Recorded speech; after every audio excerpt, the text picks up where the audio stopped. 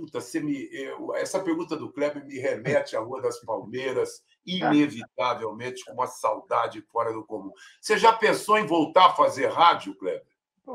Desde sempre. Rua das Palmeiras 315, hein, Márcio? É, é. Onde era o Sistema Globo de Rádio em São Paulo. Ah, desde sempre. Eu nunca, eu nunca tirei da minha cabeça a possibilidade de fazer rádio de novo. Claro que eh, nesse tempo todo de televisão, você tem algumas limitações, você tem algumas coisas que dá para fazer, algumas coisas que não pode fazer.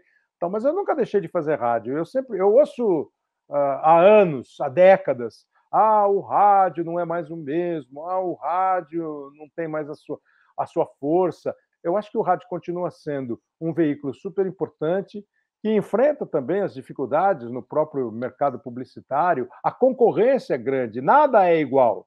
Nada é igual. A audiência que dava o Fantástico não é igual à audiência que dá o Fantástico.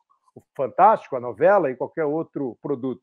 Então, nada é igual mas eu continuo vendo o, o rádio como um veículo assim forte.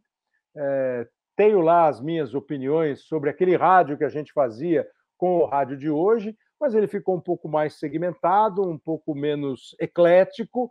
Nem sei se hoje tem espaço para uma programação mais eclética. Eu acho que tem, eu acho que tem, com uma pegada jornalística, informativa, de serviço, é, de entretenimento, eu acho que tem, mas eu nunca deixei de pensar de fazer rádio. Eu vivo ouvindo rádio e fazendo programação para essa rádio que eu estou ouvindo, para aquela ali.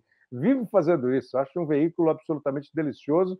E se, e se alguma emissora conversar comigo, eu conversarei com muito prazer.